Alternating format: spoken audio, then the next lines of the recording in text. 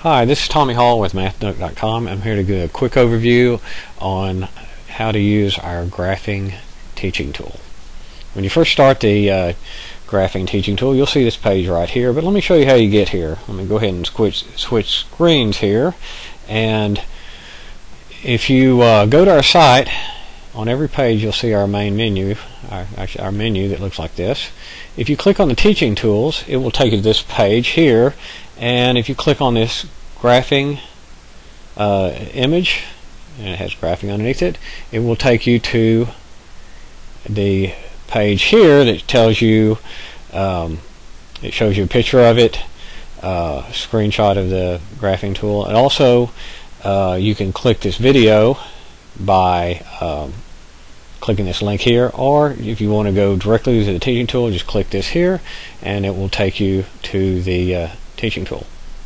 Now the first section is uh, you'll have to answer using the keyboard um, the questions up here and it says how many bones did MathPup collect on Wednesday? Look over here on Wednesday go across that'd be seven. If I click seven should be correct. And the next question, how many bones did MathPup collect on Saturday?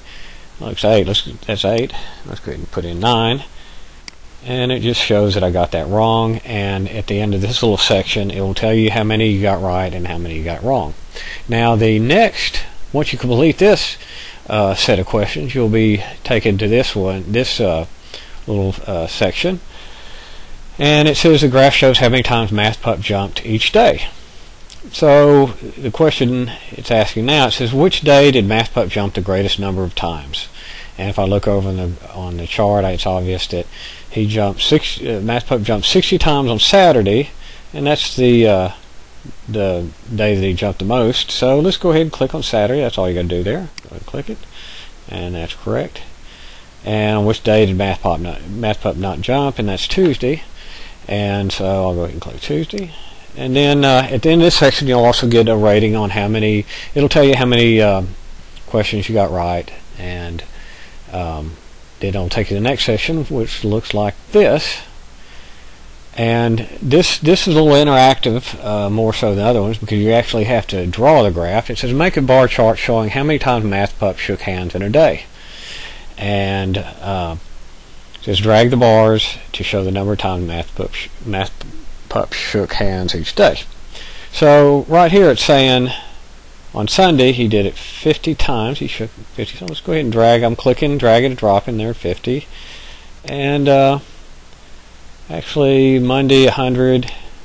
And you say I want to check my answers. I'm going to go ahead and say, well, I got that one. And actually on Tuesday 10, it's at 10, so that, I got that one right kind of as a bonus. But Wednesday, Thursday, and Friday, Saturday are wrong because I haven't haven't put those in. But let's go ahead and correct those. So on Wednesday, there's 70. Thursday wants 100. Friday, I need to put in 50.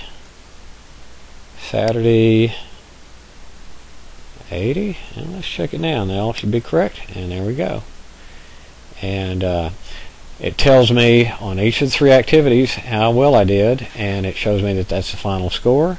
And uh, that's the end of this uh, particular teaching tool. But uh, I just want to let you see how to use it and I hope the video helps some and I hope you're using it. And be sure and uh, remember this is free to use online at home or in this classroom. And uh, thanks for watching